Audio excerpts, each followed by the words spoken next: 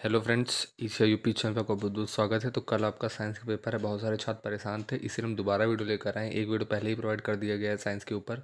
तो साइंस के जितने प्रश्न पत्र हैं, जितने प्रश्न हैं, ज़्यादातर आपको बताए जा चुके हैं। एक बार फिर से आपको रिवाइज करवा देते हैं, लेकिन एक बार याद रखिएगा कि जितना यहाँ पर बताया जाता है, सब आपके एग्ज़ाम में आएगा। नाइन्टी आपके एग्ज़ाम में आएगा। बस चैनल को सब्सक्राइब करके बेलाइकन ज़रूर दबा लीजिएगा। यूपी बोर्ड के जितने भी छात्र हैं हम आपको बिल्कुल सटीक जानकारी के साथ रिज़ल्ट के बारे में जानकारी सबसे पहले प्रोवाइड करेंगे। बिल्कुल हमारे चैनल से जुड़ जाइए और जितना हमारे वीडियो को शेयर करेंगे, उतना ज़्यादा हमारा मोटिवेशन बढ़ेगा और सभी जितनी भी आपके एग्ज़ाम बचे हैं, आपके पास दो एग्ज़ाम और बचे हैं, सब में जानकारी आपको इसी तरह मिलती रहेगी।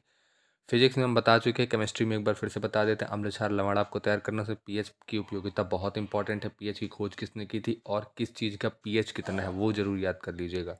जैसे मान ले, मान लिया, बहुत सारे एग्ज़ाम्पल में पूछा जा चुका है, बहुत बार पूछा जा चुका है तो आप उनको भी एक बार देख लीजिएगा। जैसे मान लीजिए पूछ ले किसी का पीएच अगर ज़ीरो है तो उसकी वैल्यू क्या होगी तो उदास वो आपको पता है बहुत ज़्यादा प्रबल अम्ली होगा। अगर अम्ली होगा, अगर किसी पीएच किसी वैल्यू का पीएच सात है तो वो उदासीन होगा, सात से ज़्यादा है तो क्षारी होगा, है ना? ये ज़रूर याद रखिएगा, जैसे मान लीजिए पूछ रहे रक्त का पीएच कितना होता है तो सेवन पॉइंट फोर आपको पता है। ये सब चीज़ें और दूध का पीएच कितना होता है सिक्स पॉइंट सिक्स होता है सब याद रखिएगा। जितने भी प्रबल चीज़ें होती हैं, जैसे प्रबल अम्ल पूछ ले आपसे तो प्रबल अम्ल जितने भी होंगे, उनका जो पीएच होगा सबसे कम हो जैसे मान लें एच टू एस फोर का पीएच पूछे और एच सी एल का पीएच पूछे तो एच टू एस फोर का पीएच ज़ीरो होगा एच सी एल का पीएच वन होगा। क्यों? क्योंकि जिसका जितना पीएच कम होगा, उतना प्रबल अम्ल होगा। तो H two S four H C L की तुलना में ज़्यादा प्रबल है। समझ रहे हैं मेरी बात? इसी तरह छार में भी है। बिल्कुल ध्यान से जो बातें बताई जा रही हैं बिल्कुल नोट कर लीजिए। यहीं से आपके प्रश्न बिल्कुल छप चुके हैं समझ लीजिए। आएँगे ज़रूर आपके एग्ज़ाम में। पीएच की उपयोगिता लॉन्ग में आता है आपको पता है बहुत इंपॉर्टेंट है। अमली वर्षा एक बार पढ़ लीजिएगा जो हमारे जितने भी पीएच की उपयोगिता हैं वो वहाँ पर लिखी हुई हैं। एक बार आप इसको रिवाइज कर लेंगे तो आपको आपके लिए फ़ायदेमंद होगा।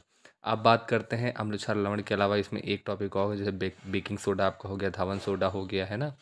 इसके अलावा प्लास्टर ऑफ़ पेरिस हो गया ये सब चीज़ें और इसके अलावा एक आपका हो गया ब्लीचिंग पाउडर ये ज़रूर याद कर लीजिएगा, इनमें तीन चीज़ें आपको याद करनी है, नाम, रासायनिक सूत्र और बनाने की विधि।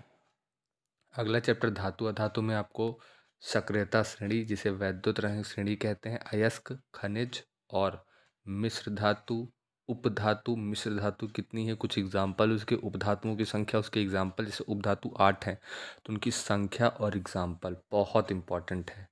आठ है उनकी संख्या याद रखिएगा और कौन कौन से एग्ज़ाम्पल हैं वो भी आपको याद रखना पड़ेगा। तो ये हो गया आपका और इसके अलावा आप क्या याद कर सकते हैं इसमें, इस चैप्टर में? ये तो मैंने जितने भी इंपॉर्टेंट टॉपिक थे उस चैप्टर में लगभग लगभग बता दिए हैं तो ये ज़रूर तैयार कर लीजिए। संचारण और विकृत गंधिता तो आप याद ही कर लेंगे, वो फ़र्स्ट चैप्टर में ही है। आपको बताया जा चुका है, फ़र्स्ट चैप्टर में संतुलित को द्विस्थापन अक्रिया संचारण और विकृत गंधिता, उसके अलावा संतुलित करना आपको आना चाहिए भौतिक परिवर्तन रासायनिक परिवर्तन के जो उदाहरण है, वो भी आप तैयार करके जाएँगे। और अगर बात करते हैं तत्वों के वर्गीकरण से तो मैंडलीफ का आवर्ती नियम, आवर्त वर्ग आवर्त वर्ग विशेषताएँ।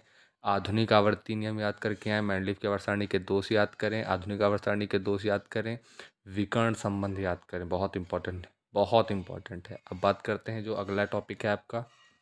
एक रह गया कार्बन वाला। तो कार्बन वाले में संतृप्त, असंतृप्त, क्रियात्मक समूह आपका हो गया। सजाती श्रेणी आपका हो गया। प्रतिस्थापन अपक्रिया आपकी हो गई। हाइड्रोजनीकरण हो गया। क्लोरीनीकरण हो गया आपका। एथिलीन हो गया और अल्कोहल ये तैयार करना है। आई नाम भी तैयार करके जाइएगा। और दहन जो आपका पता है, गुण है उसका। है ना? Alkane, alkene, alkyne hydrocarbon. अच्छे से पढ़ के जाइएगा और कार्बन के तीन अपरूप हैं, आपको पता है, कार्बन के अपरूप पढ़ लीजिएगा। तो केमिस्ट्री में इतना पढ़ना है, बायो में जय प्रक्रम में परिवहन आपको पूरा पढ़ना है, रक्त लशिका, जितने भी अंतर है, बहुत इंपॉर्टेंट है, रक्त लशिका में अंतर, धमनी शिरा में अंतर, ये आपको बिल्कुल बिल्कुल टपकेगा आपके एग्ज़ाम में, समझ लीजिए, बहुत इंपॉर्टेंट है। उसके अलावा आपके एग्ज़ाम में जो आने वाला टॉपिक है, वो आपको पता है जो पोषण वाला चैप्टर है, वो पूरा आएगा आपका। जनन वाला चैप्टर पूरा ढंग से पढ़िएगा उसमें परिवार नियोजन हो गया, मानव जनन तंत्र हो गया, उसमें स्त्री जनन तंत्र और नर जनन तंत्र चित्र सहित आपको तैयार करना बहुत इंपॉर्टेंट है, आएगा ज़रूर आपके एग्ज़ाम में।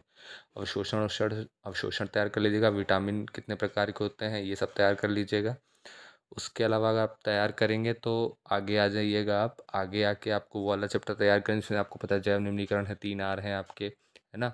भूमि संरक्षण है, मृदा संरक्षण है, वन संरक्षण है, चिपको आंदोलन है, ये सब बिल्कुल तैयार कर लीजिएगा। बहुत इंपॉर्टेंट टॉपिक आपको बताया जा चुका है।